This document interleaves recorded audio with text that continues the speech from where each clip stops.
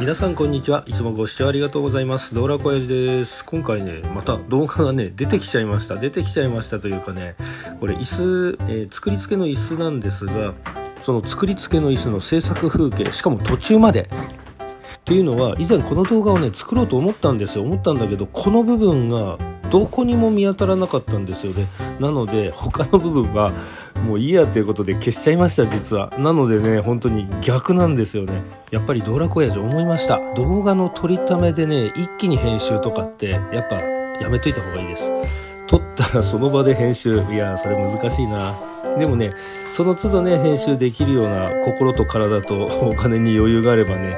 うまくいくのではないのかなと思いつつこの椅子の制作の動画作り付けの椅子の制作の動画とあとおまけで壁の遮音材と、えー、なんだ遮音シートと断熱材こちらの貼り付けをやっていきます。まずはじめに作り付けの椅子から。さてその作り付けの椅子なんですが側面の板これ廃材使っております。これは床剥がした時の床材をひっくり返して貼っております。しかもこの丸ノコのガイドこれも廃材を使っております。私ね左利きなんですよ。左利きなんですがね右手でなんとかやってます。これもね撮影の時だけでね 実はね撮影してない時ねズルして左手でやってます。これねキックバックとかあるとね危険ですのでね絶対良い子は真似しないように。あの刃物に自分の体真正面向けないことを強くお勧めします。大怪我します。大怪我どころじゃないな。本当に命を落としかねないので気をつけましょう。私が使ってるこの丸ノコなんですがスーパービューホームでね結構安く売られてたんでねそれを購入してしまいました。うん結構前ですよね。34年23年34年前かな。結構ねあのアマゾンとかね覗いてみるとね左利きの、えー、牧田さんなんかね結構出してますんでね。まあ結構いいお値段なんですがね命には変えられない。まあご購入を検討されてみてはいかがでしょうか。この作り付けの椅子なんですがねこれ作るってなるとね結構大変なんですよね。まあ私なんかはね結構ズボラで横着物なんで、えー、設計図書かないんですよ。で現物合わせで長さ測りながらやってうん寸法ずれたなと思って修正してなんてやってるんでね結構時間と体力を消耗します。でこの椅子の構造なんですが角材を使ったボックスをこう数個作ってそれをつなぎ合わせで側面に、まあ、床板廃材なんですがこれを貼り付けてとりあえず側面と座面っていうんですかあの座る面のベースが完成。これに化粧板、まあ、今回は、えーとですね、修正板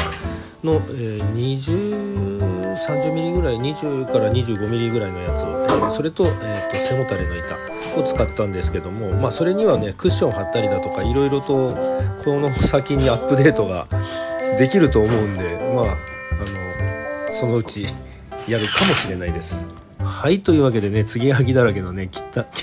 いんじゃない。まあねちょっと趣のあるあの側面が完成しました。これにねあのビニールクロスの壁とかに貼ってるそういったまあちょっとね今回はね本当に安っちいやつなんですけどね。そのうち、まあ、ダイノックシートとか使ってこう丈夫なかっこいいやつを貼ってこうかななんて思っております。交互期待。続きましてはね壁の防音断熱こちらの方やっていきます。もうね3枚4枚貼っちゃったんですよ。なんですけどもねまあ動画の方もね削除されず残ってたということでねまあ途中までと途中からなんで なんだそりゃ。途中からと途中までなんですけどね本当にね真ん中の部分ぐらいしか残ってないんですけどまあ参考までに。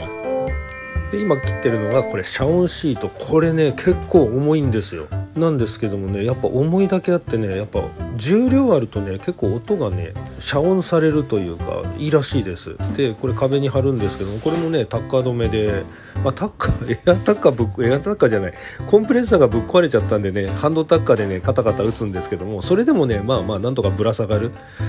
あのいずれにしてもね壁で押さえつけちゃうんであの多少緩く貼られてても問題ないのかなと。これ接着剤でべったりひっつける必要多分ないと思います。であの壁を固定するための角材なんかの下にまず貼っちゃってからでもいいのかな。まあ施工はねどうとでもできるような気はします。というふうにやってもいいと思うんでねこれはお任せで。お任せでっていうかまあ貼りゃいいんですよ貼りゃ。で固定もねタッカーで簡単に止まる簡単ってわけじゃないですよね。最初の1発目2発目はねあの遮音シートの方がかなり重たいんでかなり最初の1発目2発目のタッカーの針はテンションがテンションというかね負荷がかかりますだから56発初めにねパカパカパカパカ打っといちゃってそれからゆっくりああのシワを伸ばすというかあの傾きを修正しながらで、まあ、傾いてたりしたらねペロペロって剥がしてからもう一回タッカー打ち直せば、まあ、結構ごまかし効きますんでねそんなにね神経使ってやらなくていいような気はします。そもそもの話足の短いハンドタッカーでやってるんでねあのエアタッカーとかね足の長いやつでやればねかなりしっかり止まると思うんでそこまで心配いらないと思います。お次にねボードを貼るための下地材なんですがこれはねもう角材のね廃材がなくなっちゃったんで、えー、ホームセンターでポプラっていうねなんかこの壁のね下地にぴったりそうな木を見つけてきましたんで、ね、これを貼っていきます。でこの木枠にボードを打ち込んでいくんですけどもボードと遮音材の間に断熱材をちょっと入れようと思ってるのでこれ455ぐらいの幅で石膏ボードいいらしいんですよね。で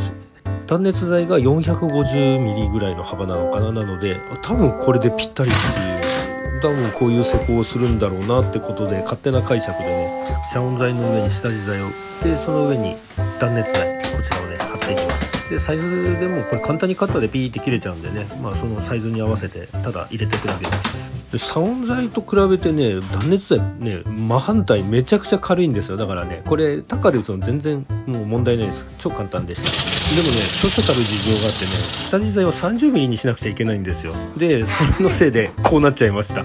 あのね膨れてね押し戻されるっていう。でねビスがね石膏ボード貫通というかね穴ぼっこ開いちゃってもう一回打ち直し。でもねこの断熱材ね膨らむんですよ。膨らむのにこの本当はね5センチ50ミリっていう断熱材かな？なのにこの下地材がね30ミリぐらいのねちょっとね細いやつちょっとケチりました。なのでねこれなかなかね押し込むというかブシューって潰しながら石膏ボード入れるのが難しいんですけどもこれでもねなんとか入っちゃうんでね多分いいんじゃないのかな。よくわかんない。あのまああのちゃんとね下地材はね 50mm 程度のやつを選んだ方が楽に貼れるはずです。というわけで強引に押し付けながらビスを止めておくというそういった荒技で。これねちょっとずつね 締め込んでいけばねあの全体的に締め込んで多分入る、うん、これでいいのか悪いのか多分ダメでしょちょっとずつこれをね何本か打ち込んでねちょっとずつ増し締めしていくというねそういったねなんかずるい技を使ってずるい技っていうのかな。なんか多分これやっちゃいけないんだろうな。うんって思います。てな感じでねこの壁を一周やるんですが目の前にねエアコンがぶら下がってると思います。このエアコンの下にねこの白い変な合板が貼ってあると思うんです。これがね昔のねクーラー。この何ていうのかな。今でいうウィンドエアコンの原型みたいなクーラーが刺さってたところでねこれの処理をしないとダメなんでその上の天井が貼ってないという。でもそれ以前にねその下の引き戸これもね仮止め状態なんですよ。というわけでねこの後の作業としてはこのエアコンの下についてる旧クーラーの跡これを撤去してでその下の引き戸これを、えー、施工する。その後に天井をやってで最後にこの壁の続き今やってる壁の続きをずっと一周回って壁の方は完成ということなんですよね。いずれにせよねドラコヤじゃ素人ですからとりあえずねぶっ壊してみてから考える。それで順番に組み立てていくというねすごい雑なやり方なんですけどね。まあいい勉強になりましたよ。本当に壊す順番作る順番いろいろねあるんだなって痛感しました。この後の施工はエアコン下のクーラー庫のこの撤去それから引き戸を施工の後に天井を張って壁を張るという順番でやってまいりました。未公開動画の方もねちょくちょく上げていきますのでチャンネル登録お願いします。今回も最後までご視聴ありがとうございました。ドラコヤジでした。